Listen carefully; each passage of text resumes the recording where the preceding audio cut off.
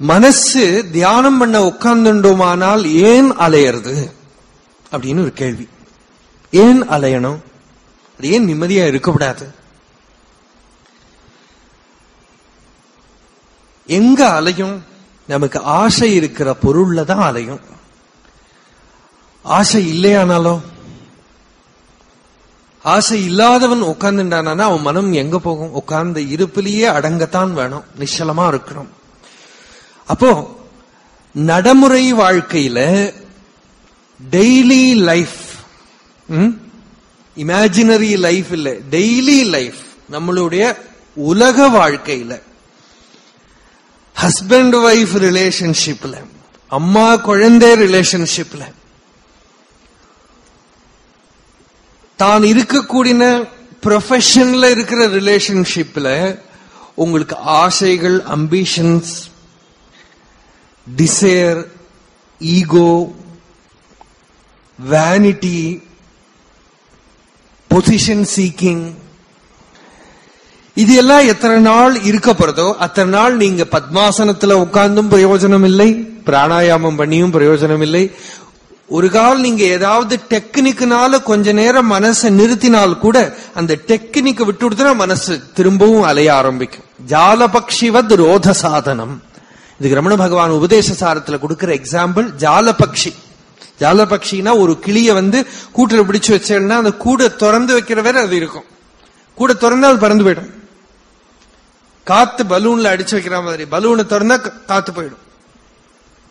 அந்த மாதிரி மனம் வந்து ஏதோ ஒரு டெக்னிக் ஒரு மெத்தடுக்கு வழங்கி இப்ப சத்சங்கத்துல உட்கார்ந்து இருக்கிறத சில பேர் சொல்லுவா ரொம்ப நிம்மதியா இருக்கு. இங்க இருந்து வெளியில போனா ஒண்ணு அது ஏன் இந்த சிச்சுவேஷன்ல இருக்கிறதுனால வருது?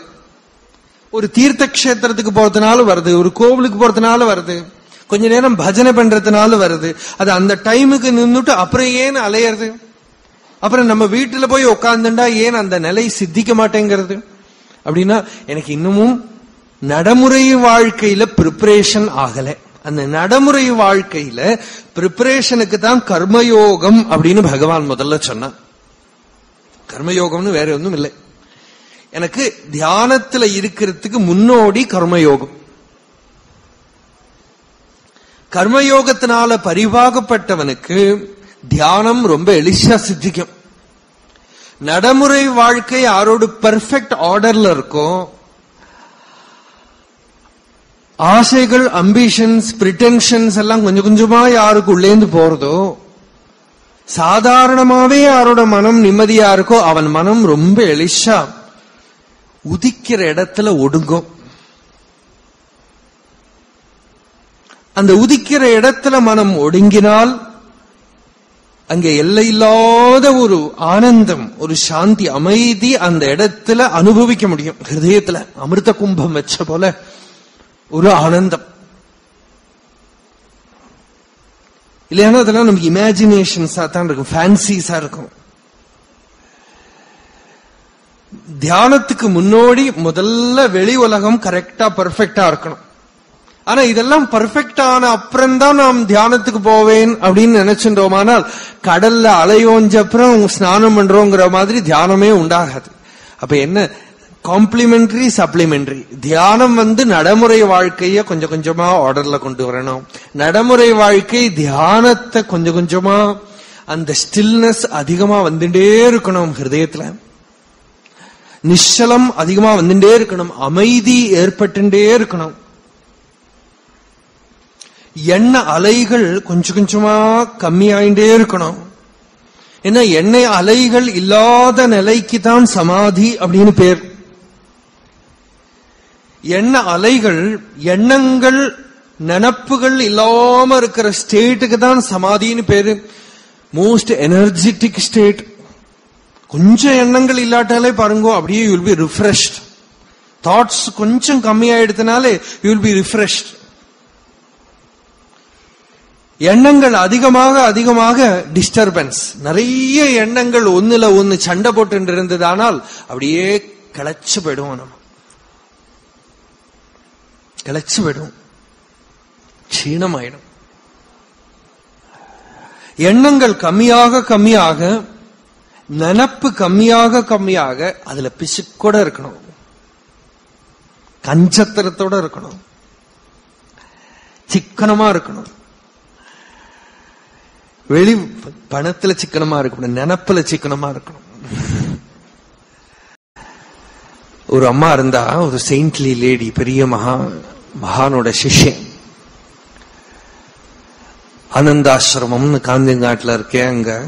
கிருஷ்ணாபாயின் மாதாச்சின்னு பேர் அந்த அம்மாக்கு. கையில் இருக்கிறதெல்லாம் கொடுத்துடுவா.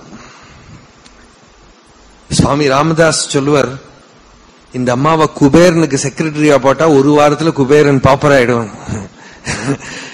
எல்லாம் கொடுத்துடுவான்.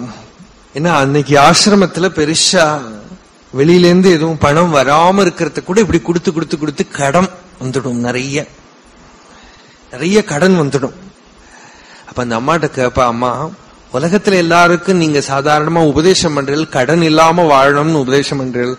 ஆசிரமத்துக்கு நிறைய கடனா இருக்கு. எப்படி உங்களால தூங்க முடியறது? அப்படின்னு கேட்டா. அதுக்கு அந்த அம்மா சொன்னா எனக்கு பணத்தை வச்சுன்னு தான் தூங்க முடியாது கடத்தை வச்சுன்னு தூங்குறேன் கடன் வச்சுன்னு தூங்க பரவாயில்ல. என்ன பணம் வச்சுட்டா தான் நினப்பு வந்துட்டே இருக்கும் உள்ள. அவ புரிஞ்சுக்கிற சீக்கிரட் என்ன? நினப்பு இல்லாம இருந்தா ஆனந்தமா இருக்கலாம். நினப்பு எவ்வளவுக்கு எவ்வளவு குறைஞ்சு குறைஞ்சு வருதோ அதுல எவ்வளவு கஞ்சத்திரத்தோட இருக்கோமோ. ஒரு அதனாலதான் ஒரு விஷயத்தை நாளைக்கு பண்ணுறதுக்கு இன்னைக்கே பண்ணிவிட்டோமான நினைக்கட்டாமே அதை. நடைமுறை வாழ்க்கையில பாருங்க இப்படியே ஆர்டர் வந்துடும் நமக்கு. அதை நினைக்காம இருக்கணும் இப்பவே பண்ணிவிடலாம். யாருக்காவது ஏதாவது கொடுக்கணுமா இப்பவே கொடுத்துடும்.